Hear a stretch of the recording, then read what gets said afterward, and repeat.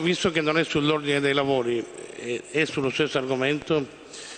Il suo intervento è sullo stesso argomento? Volevo dirle, eh, nel merito diciamo, delle comunicazioni che poc'anzi sono arrivate, eh, senza obiettare nulla di, relativamente al fatto che si possa incardinare il testo di legge da lei poc'anzi riferito, però volevo chiederle a nome del mio gruppo chiaramente la possibilità di poter da parte sua convocare una conferenza dei capigruppi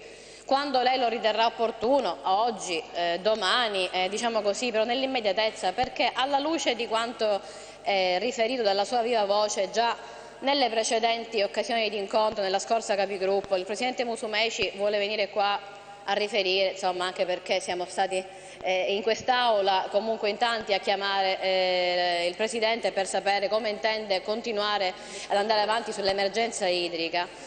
E, mh, avere la possibilità di condividere un percorso, quindi un momento, quale noi siamo stati abituati anche nella scorsa legislatura a poter avere durante la conferenza dei capigruppo a far valere anche in termini regolamentari quello che è eh, diciamo così, il peso anche di chi eh, fa opposizione qua dentro, ma che può essere in questo senso anche un'opposizione costruttiva, chiaramente nei temi, giusto? Se parliamo di servizio idrico, pertanto, avere la possibilità anche di